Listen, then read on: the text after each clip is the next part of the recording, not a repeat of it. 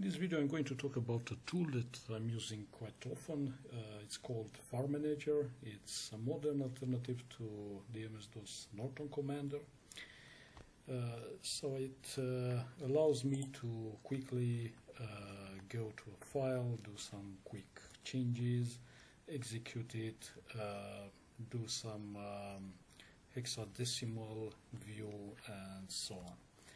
So uh, in order to uh, download it, uh, there is this website farmanager.com where you can find the download link.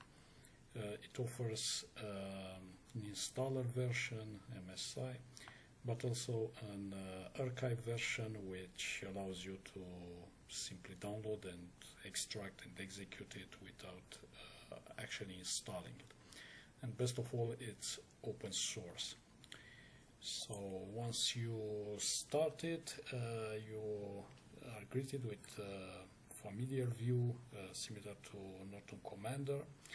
Uh, you can uh, press uh, for example F9 to see menu.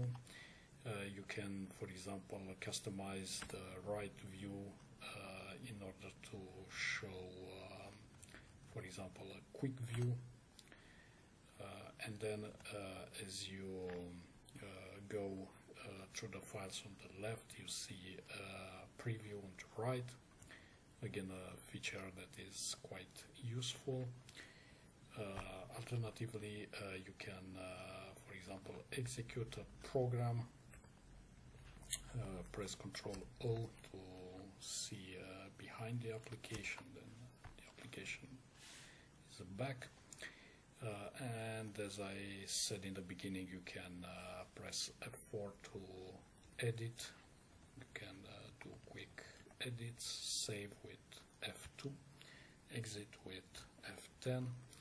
Uh, you can also uh, view uh, the content of a file, of a binary file in hexadecimal or you can see the text uh, and again uh, you can exit with F10 and of course it has uh, many more features like uh, for example you can find the file uh, history uh, do configurations you can enable different plugins and so on.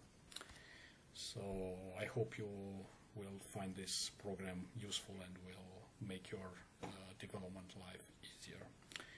If you enjoyed the video, don't forget to like and subscribe and maybe share in the comments some other tools that you find useful. Thank you for watching and see you next time.